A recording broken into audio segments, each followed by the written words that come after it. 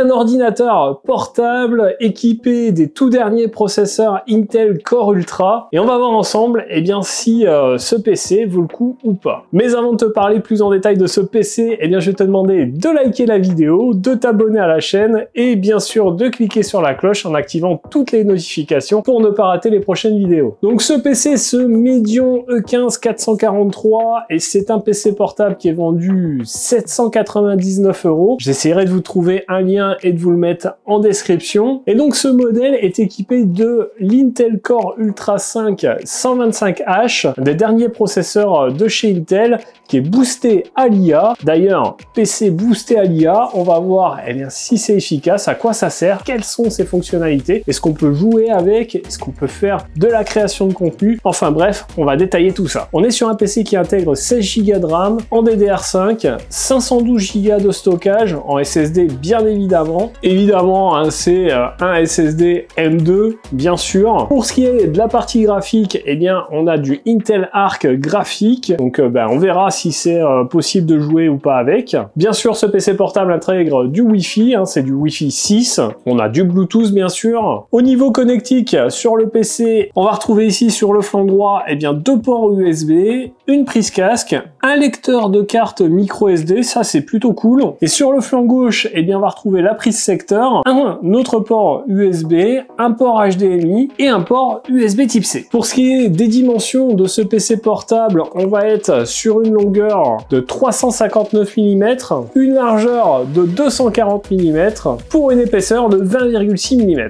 Donc un PC portable qui est pas très épais non plus, donc ça c'est plutôt cool. Il est euh, pas très lourd, on est sur un PC qui fait 1,8 kg environ, donc ça va, c'est pas non plus euh, très lourd, c'est pas très léger non plus. Pour ce qui est de l'écran, on est sur un écran Full HD de 15,6 pouces, c'est une dalle IPS, et on est sur un écran avec un taux de rafraîchissement de 60 Hz. Donc clairement, on n'est pas sur un PC orienté gaming, mais visiblement, eh bien, les nouveaux Intel Core Ultra et euh, la puce Intel Arc devrait nous aider à jouer quand même avec ce PC et on va voir ça. Allez, moi je vais le configurer et puis on se retrouve tout de suite sur mon bureau pour tester ce PC vous montrer ce qu'il est possible de faire avec, la qualité de son écran et puis bien sûr que je vous donne mon avis dessus. Bon ben voilà, j'ai euh, configuré ce PC, je l'ai testé pendant un petit moment et globalement, eh bien on est sur un bon PC portable. Alors on n'est pas sur un PC portable gamer, hein, attention, mais vous allez pouvoir tout de même jouer avec ce PC. Bien sûr, pas avec les meilleures performances possibles, mais globalement, eh bien l'utilisation de l'Intel Core Ultra et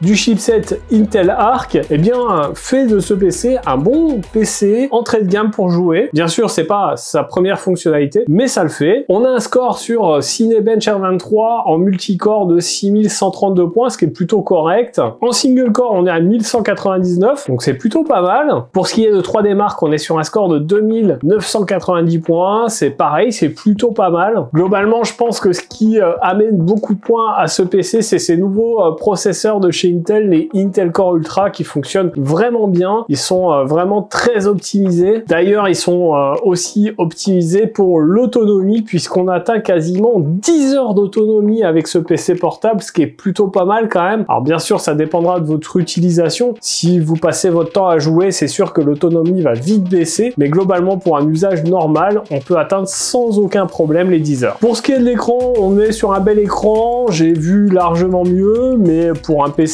entrée de gamme, je vous le rappelle, on est à 800 euros, c'est pas excessif pour un PC portable, eh bien c'est plutôt pas mal, il est plutôt bien calibré. Le trackpad est pas optimum, mais il est plutôt pas mal. Ce qui m'a un peu dérouté, c'est le pavé numérique de ce PC portable. En effet, il est disposé euh, bah, d'une façon peu habituelle, il est un peu réduit, un peu plus sur le haut, et du coup, euh, bah, il faut s'y habituer, mais euh, bah, il a au moins le mérite d'être là. Alors pour ma part, globalement, les fonctions IA, je ne les ai pas vues, rien de préinstallé sur ce PC qui permette d'utiliser de l'IA. Ça, c'est un petit peu dommage, j'aurais aimé que bah, ils nous fournissent des petits logiciels préinstallés sur le PC pour pouvoir euh, bénéficier euh, bah, de ce Intel Core Ultra et de ses fonctions IA avancées. Sinon, bah, globalement, euh, moi, c'est un PC que j'ai vraiment apprécié à tester. Il y a pas mal de connectiques sur le PC, ça c'est plutôt cool. On a beaucoup de ports USB, c'est pas souvent le cas sur les PC portables. On a un lecteur de micro SD, ça c'est pareil, c'est plutôt cool hein, si vous l'utilisez en tant que créateur de contenu. Pour info, Premiere Pro marche très très bien sur ce PC. Et eh ben voilà, vous prenez la carte micro SD de votre appareil photo, vous l'insérez directement dans le PC et c'est parti pour le transfert. Donc ça c'est plutôt cool. Et franchement, eh bien, euh, un bon PC. Donc voilà pour cette vidéo sur le Medion E15 443. J'espère que cette vidéo vous aura plu. Si c'est le cas, eh bien n'hésitez pas à mettre votre plus gros pouce bleu juste en dessous de la vidéo. Dites-moi en commentaire vous si vous utilisez de façon régulière un ordinateur portable. Si oui, eh bien quel modèle, quelle marque? Et puis bien sûr, eh bien n'oubliez pas de vous abonner à la chaîne sans oublier de cliquer sur la cloche en activant toutes les notifications pour ne pas rater les prochaines vidéos. Si vous ne le savez pas sur cette chaîne, eh bien les vidéos c'est le lundi, mercredi et samedi toutes les semaines. D'ailleurs nous on se retrouve dans un prochain test ou une prochaine vidéo. En attendant, prenez soin de vous. Ciao